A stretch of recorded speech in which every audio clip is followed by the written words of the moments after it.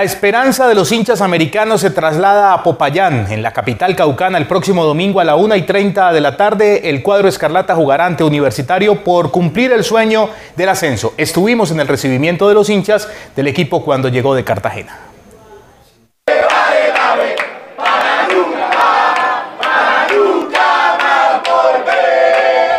Así disfruta por estos días la familia americana la ilusión del regreso a la A. No como las otras veces, que estábamos siempre peleando y peleando y al final siempre como que nada, pero esta vez que coja duro la A.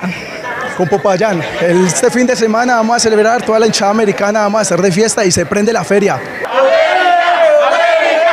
Al rojo vivo la comunión entre hinchas y jugadores que están cercanos a terminar con el infierno de la B. Y nosotros muy contentos de lo que se ha hecho hasta ahora, pero todavía falta camino.